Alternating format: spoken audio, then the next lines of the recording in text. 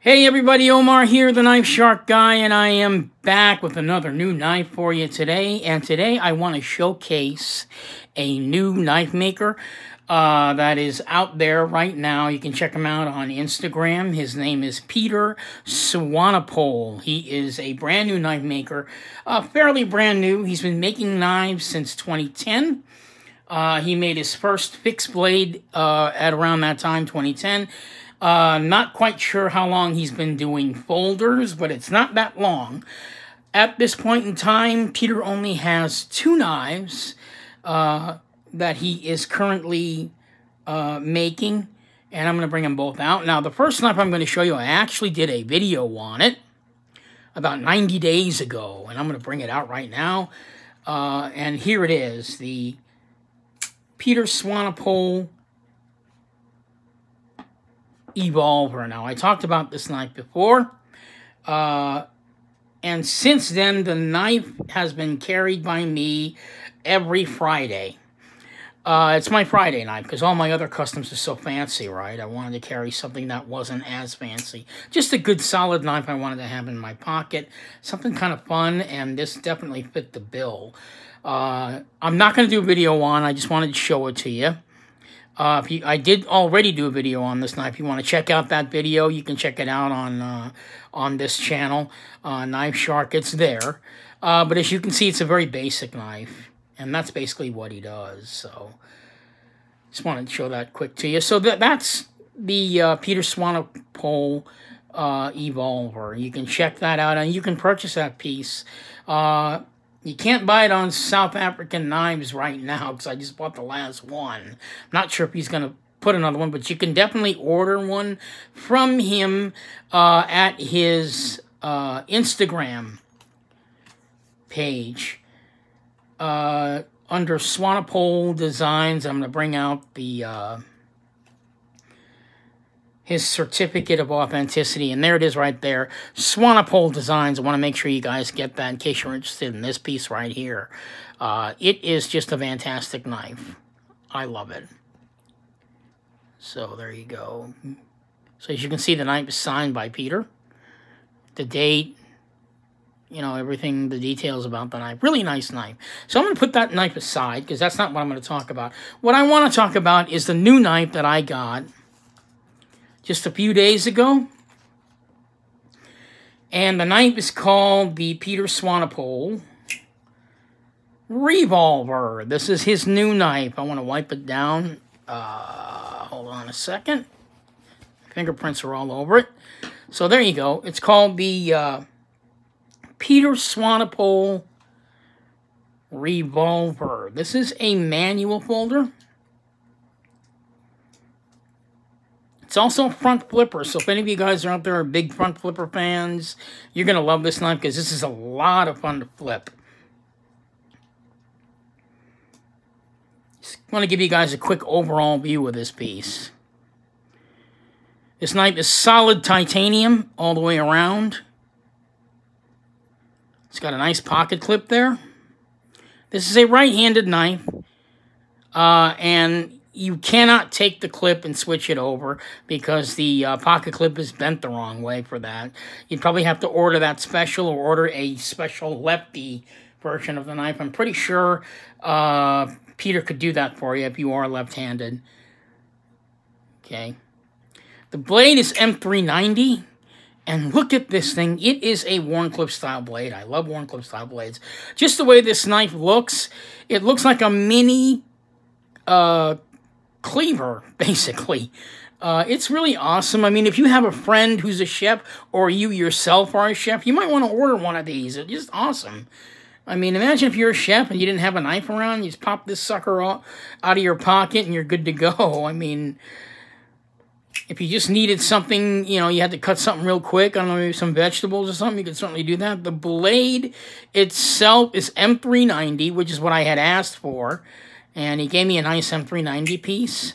The uh, the Evolver is actually Böhler N690, which is a very, very popular steel in South Africa. Uh, they use it quite a lot over there, apparently, because it's about as common over there as I'm going to say like Sandvik is over here, or, you know, maybe even S35VN, but I'm going to say Sandvik. I think that's a better comparison.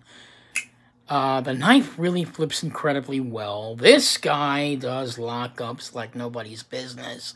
Uh, what's really impressive about this knife is how thick the titanium is. I really love that thick titanium. There is no chance of any blade play. This is the only knife I've ever had where you can actually unscrew the thing all the way and there's still no blade play. I was laughing at that.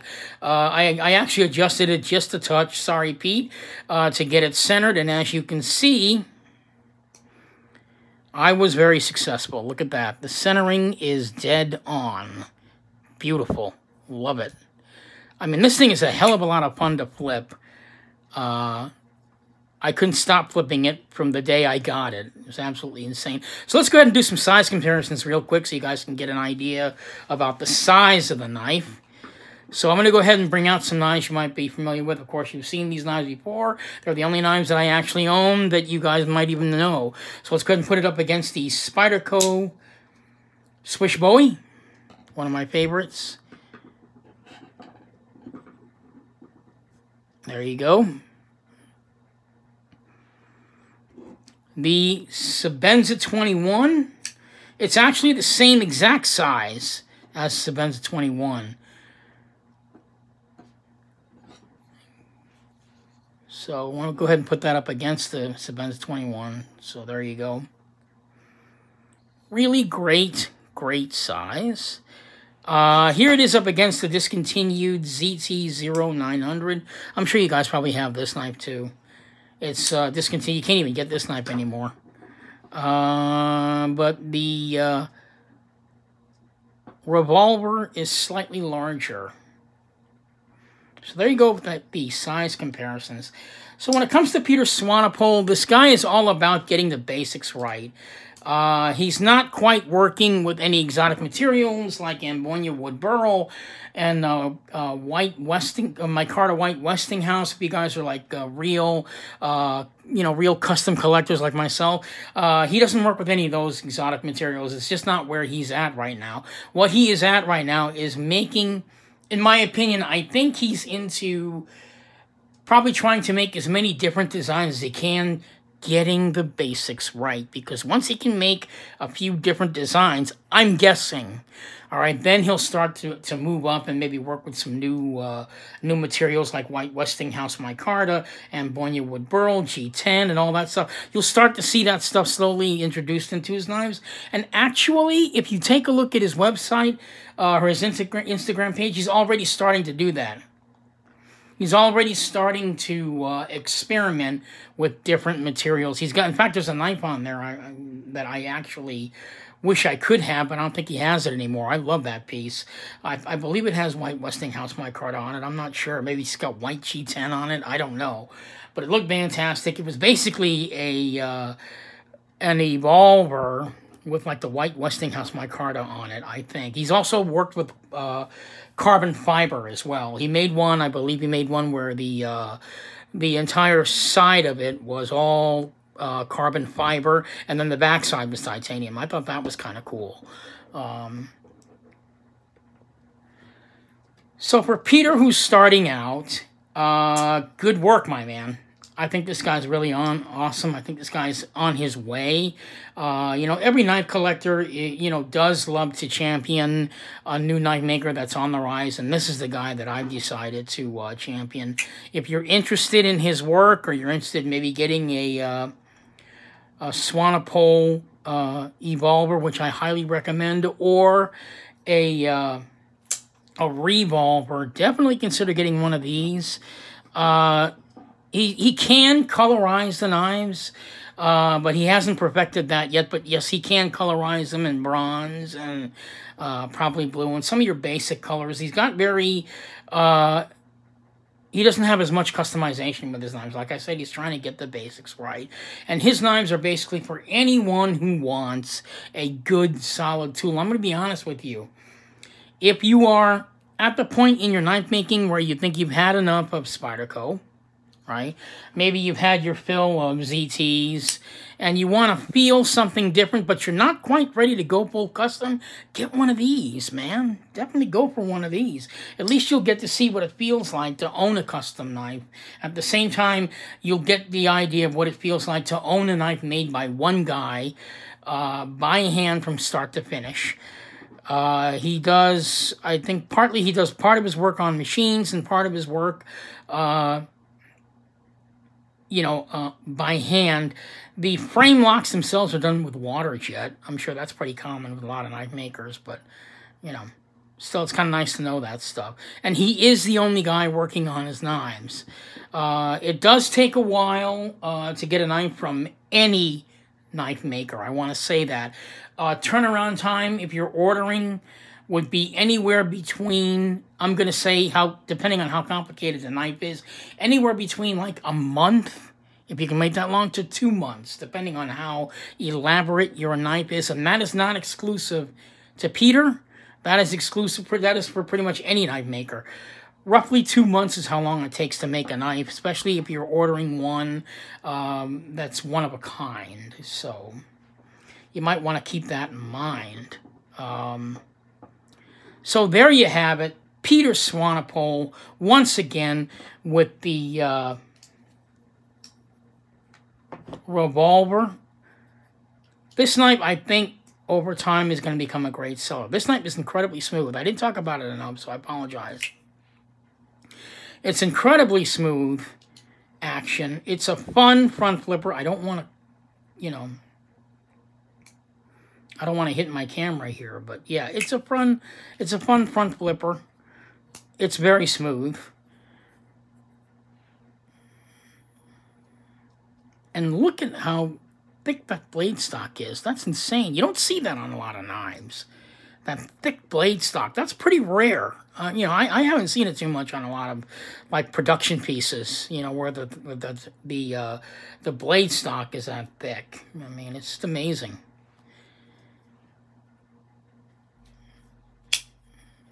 So there you have it. The Pieter Swanepoel revolver. I hope you guys get yourself one of these because these are kind of fun. The uh, price on this knife, uh, I think it was 450 Very reasonable for what you're getting. Uh, considering custom knives just keep going up and up and up and up. Uh, and as this guy gets better, keep in mind, as this guy gets better, uh, his knives are going to start to go up and up and up and up. I mean, that's pretty much what happens to a lot of knife makers. Over time, they get really, really good, and they, they start getting well known for a piece, and then the next thing you know, their prices jump up to from like 450 to 550 and they just keep going up and up and up, uh, simply because the knife, knife collectors like myself uh, are praising them, talking about them, and of course, you know, they put out the quality work that you would expect, and this knife is absolutely incredible. You can tell the amount of care the guy puts into making his knives. As basic as they look, uh, when you have one of his pieces in your hand, you're going to be blown away. I know I was. I was definitely blown away, so... There you have it, the Pieter Swanepoel uh, Evolver. When you do get the knife, you get it in one of these cases with the certificate of authenticity. I'm going to go ahead and show that to you.